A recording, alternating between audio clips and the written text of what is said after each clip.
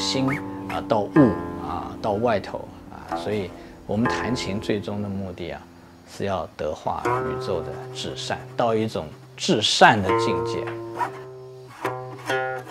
弹琴它是表达一个人的修养的其中之一，当然写字也可以表达一个人的修养，但是入人心啊最深的莫过于声音。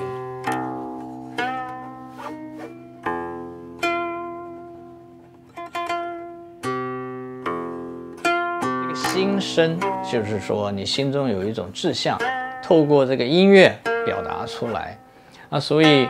既然声音是终结你一个人的修养，所以我们必须要弹琴之外的弦外功夫啊，那就是要去修炼的。要不然你弹的是什么内容呢？你传达什么呢？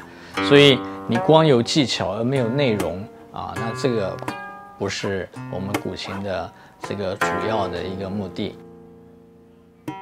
琴是人我心灵的会盟。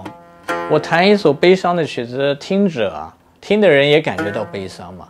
我弹一个快乐曲子，听的人也很快乐啊。所以在这个当下，我们的精神是交流、交汇的，然后共同有个盟约啊，就是我们是快乐的，你也快乐。所以独乐乐不如众乐乐是一样。